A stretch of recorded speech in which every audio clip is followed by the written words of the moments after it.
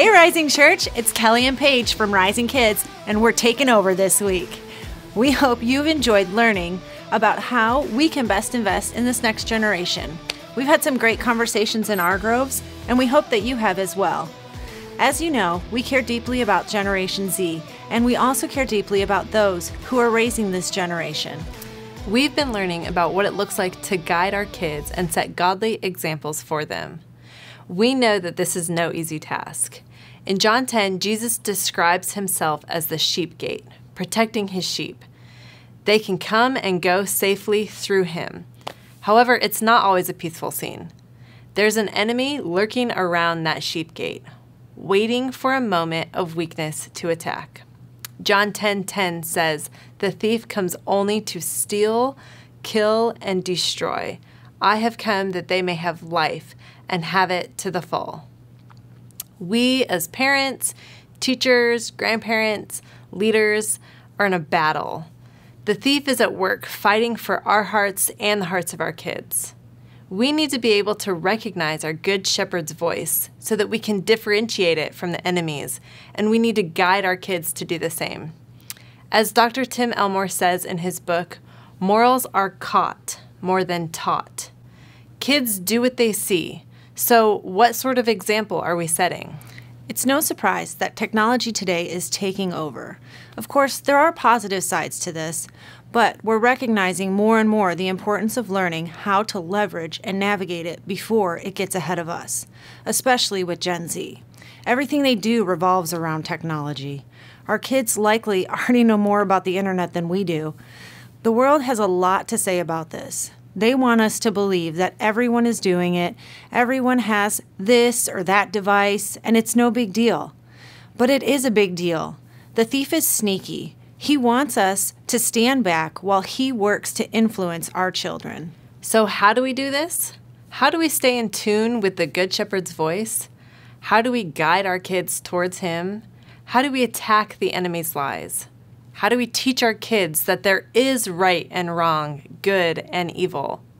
We might be tempted to go into flight mode by ignoring the problem, or we might just take it to the opposite extreme of getting rid of everything with a plug. But we want to encourage you. Let's not get scared, shut down, crawl into a hole, but let's stand up. Let's start talking about how we can change the narrative. We don't want to live concerned, worried, and paranoid. We want to live educated, responsible, proactive, and empowered. The thing I'm learning a lot right now as a parent is that if I don't talk to my kids about important things like sex, internet safety, pornography, drugs, social media, I mean, the list goes on and on. But if I'm not talking to them about these hard topics, someone else is, whether it's predators online or other kids at school. It's not if they learn about it, it's when they learn about it. Earlier this year at Children's Pastors Conference, Paige and I learned the statistics and were heartbroken to hear what Gen Z is up against. We came home and started to implement some things right away with our own kids. There's an important thing that stands out to me as a parent and someone who is attempting to lead Gen Z kids. I want to be a source that they know they can trust. I want them to know they can come to me with anything, so I have to be willing to start those messy and awkward conversations with them.